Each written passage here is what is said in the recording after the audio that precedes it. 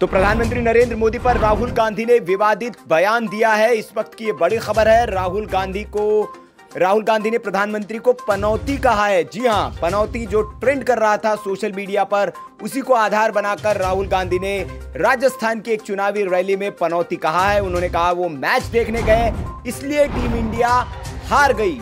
ये बयान राहुल गांधी ने एक चुनावी रैली में दिया है और इसीलिए उन्होंने प्रधानमंत्री को पनौती तक कह दिया है। अब राहुल के विवादित बयान पर भारतीय जनता पार्टी ने भी वार किया है और राहुल गांधी से माफ़ी की मांग की है। जी हाँ बीजेपी की ओर से कहा गया है कि राहुल गांधी को इसके लिए माफ़ी मांगनी चाहिए। क्या कहा राहुल गांधी ने? पहले सुनिए। याद है हाँ क्या? पनौती पनौती। पनौती। वो अच्छा भला अच्छा भला वहाँ पे अच्छा भला हमारे लड़के वहाँ पे वर्ल्ड कप जीत जाते। वो वहाँ पे पनौती हरवा दिया।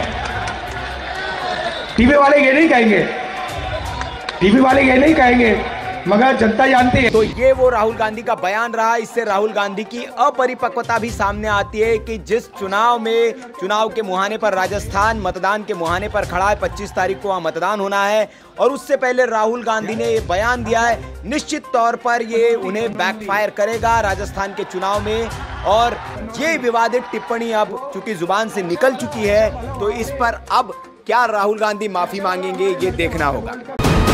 वीके न्यूज़ राष्ट्र के नाम।